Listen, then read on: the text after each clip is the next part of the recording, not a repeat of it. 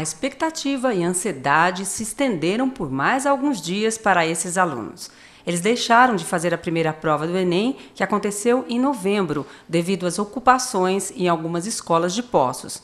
Alguns estudantes não concordaram com o cancelamento da prova pela expectativa dobrada e também porque alguns iriam prestar vestibular em outras instituições. Pegou a gente meio de supetão, né? É, a gente foi muito em cima da hora que trocou a data, né? E eu acho que adiou muito, foi um, um mês, né, de, de, diferença. Você fica um pouco mais ansiosa, né? Porque aí o que você estudou o dia da sua prova adiou, você fica ansiosa porque fala, nossa, e agora? Vou ter que estudar mais, vai ser totalmente diferente daquilo que você estudou, uhum.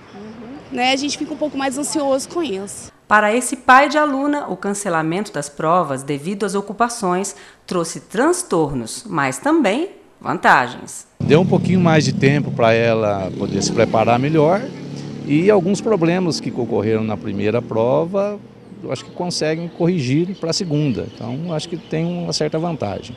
E até para saber como é que foi a primeira prova, não que vai ser igual, mas tem pelo menos uma noção, né?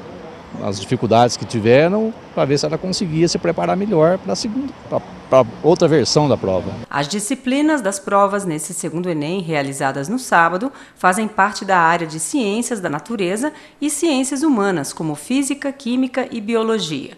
Nas provas de domingo, os alunos tiveram que enfrentar as temidas matemática, português e redação. O tema ainda era desconhecido pelos alunos. No Brasil, 240.304 alunos deixaram de fazer a prova. Em Poços, cerca de 2 mil alunos vão fazer a prova hoje, sendo que o Enem foi adiado em quatro colégios. João Eugênio, Polivalente, Colégio Municipal e Davi Campista.